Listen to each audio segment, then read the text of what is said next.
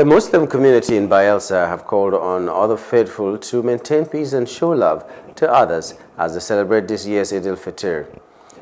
They made the call when they joined other faithful in the country to celebrate this year's Eid al-Fitr, declared by the President General, Nigeria Supreme Council for Islamic Affairs, after a prayer at the Ogbogoro Central Mosque in Yenagoa.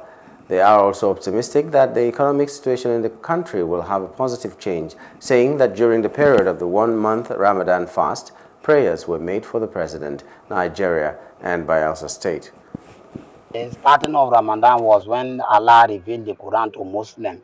And during this period of our fast, we do pray for the problem that Nigeria is facing and uh, Bayelsa to the killing and all the rest, killing our serving, serving chiefs and all the rest. So we prayed that uh, they should forget about all this killing and all the rest. This Ramadan show us something that if you do the Ramadan, anything bad in your mind is come out inside.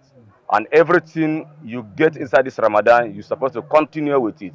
Even if you are a Muslim, you see your own brother within Christian, you have to love him to show him love. That is the Muslim word in all our books especially uh, the, the, the, the book of Allah, which is Al-Quran. One of the essence of fasting is self-restraint and also to build love among your brothers and sisters despite the religious differences.